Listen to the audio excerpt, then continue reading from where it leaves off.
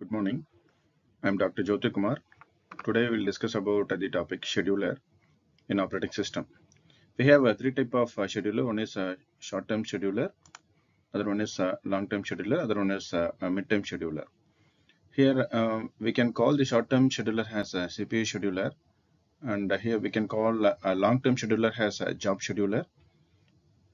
Here uh, in short-term scheduler, uh, it, it selects which process should be executed next and allocate the CPU. It's short-term scheduler. And, and uh, coming to the long-term scheduler, uh, it selects which process should be brought into the ready queue. We can term it as long-term scheduler. We discussed about uh, a five-state process model uh, in the previous uh, class. In five-state process model, we have five states: new, ready, running, um, termination, and then waiting state.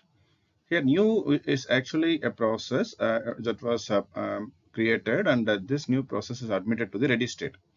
So, when a new process uh, which is admitted to the ready state, we can term it as a long-term scheduler, or it, it is called as a job scheduler, because it selects the process should be brought into the ready queue.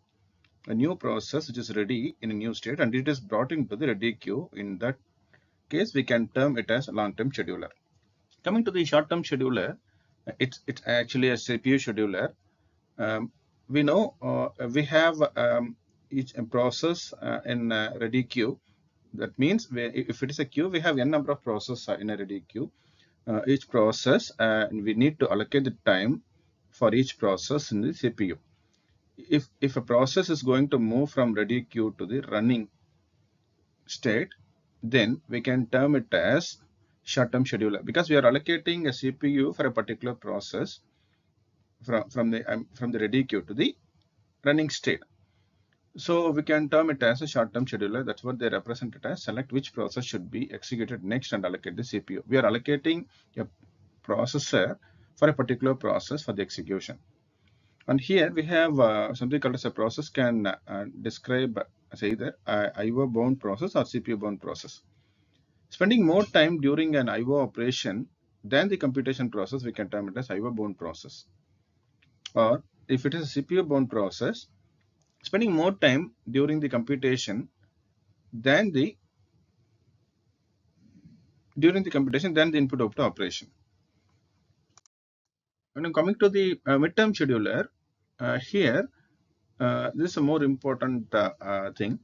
We have a swapping technique in midterm scheduler. We can add a degree of multiprogramming needed to decrease, removing the process from the memory.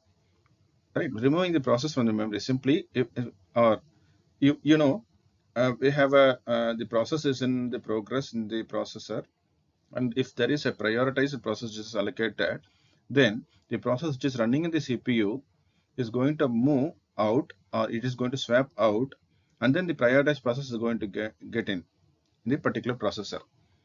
So the swap out process is again move to the ready queue. Right? Its partially executed process is going to swap out and it is again get swap into the ready queue. This is what actually ready queue means. It is a ready state.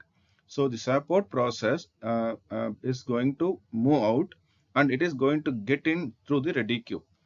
So, so this is actually uh, and uh, this is what we say and we have one more thing when this is output process from the cpu it may it, it may request an input output operation and this input output operation was done then it is again moved to the ready queue for make it ready to move to the cpu so in both the cases okay uh, cpu is going to swap out when a prioritized process is given.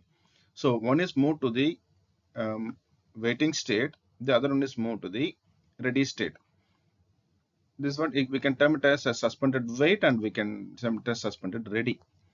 So this operation we can term it as this swapping operation okay from cpu uh, again to the state and then coming back to the cpu this in swap operation is, we can term it as midterm scheduling. Thank you